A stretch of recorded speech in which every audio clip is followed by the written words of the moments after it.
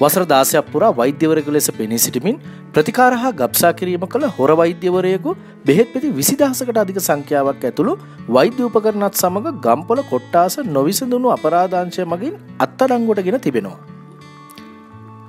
ගම්පොල ගලහ පාලම හන්දියාසල වෛද්‍ය ප්‍රතිකාර මධ්‍යස්ථානයක් තුළ නීති විරෝධී ගබ්සා සිදු කිරෙන බවට ගම්පොල කොට්ටාස බුද්ධි තොරතුරු ඒකගේ විසින් අනාවරණය කර ගැනීමෙන් පසු මෙම වැටලීම සිදු කොට තිබෙනවා.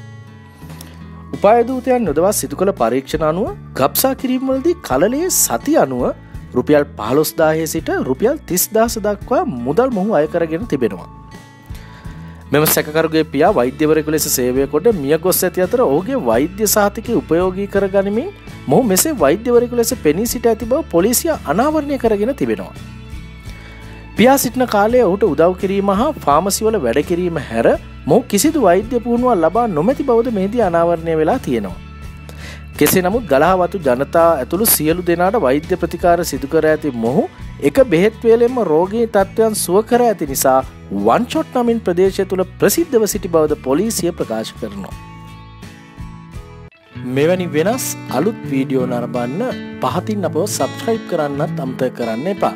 අපගේ අලුත්ම වීඩියෝ ඉක්මනින්ම නැරඹීම සඳහා සීනුව සලකුණ මත කලික් කරන්න.